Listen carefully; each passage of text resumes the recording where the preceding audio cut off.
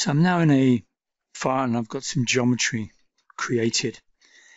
If I go to the place turnout command, you'll see there is a toggle for use last long sleeper extension.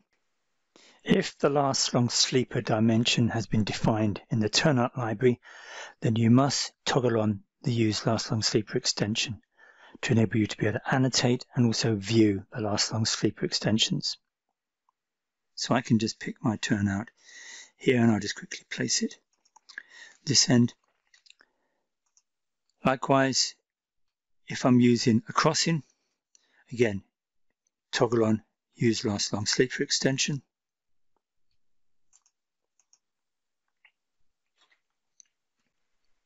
So now we have the turnouts and the crossings placed, we can use the new annotation groups to annotate them.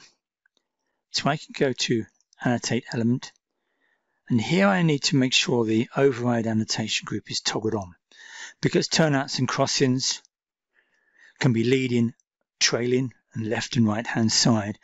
There is no one annotation group that fits all those different permutations. So we have here some examples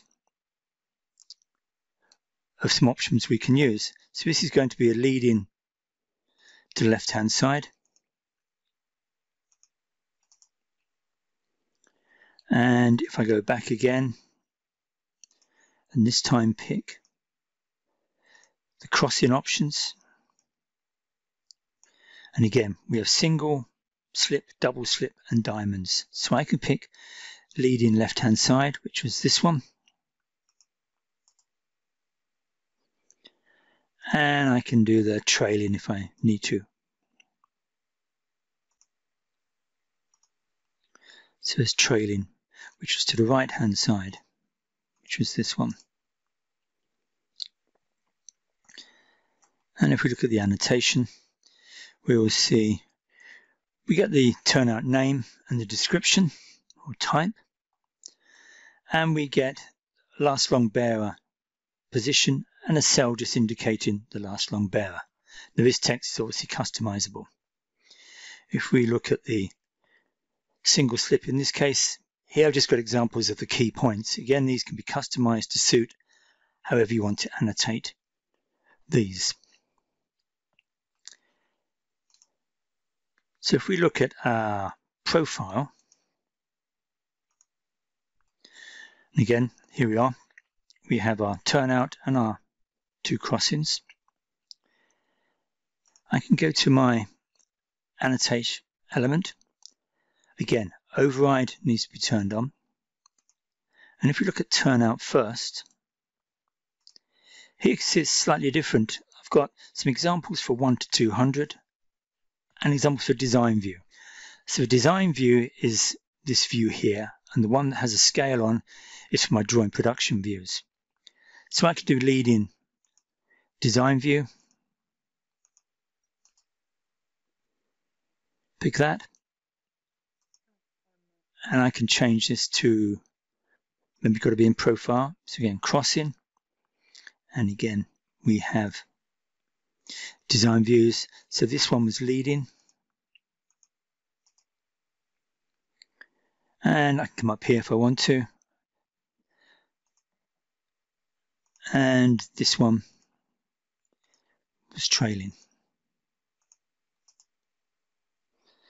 So again I can just zoom in down here so I'm getting the toe and the chainage, again, name and description,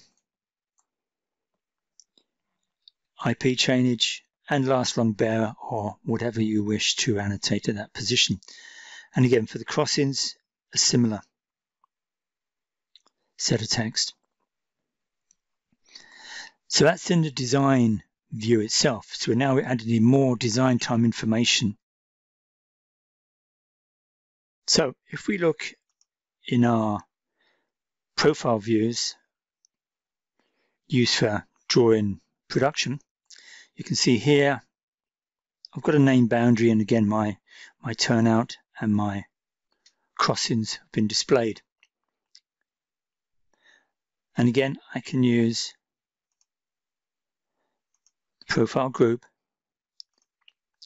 the turnout, And this time I'm going to use the one to 200 scale.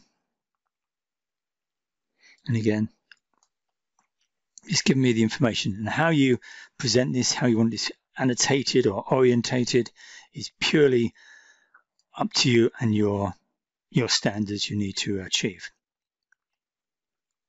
And we could do a similar thing, obviously, for the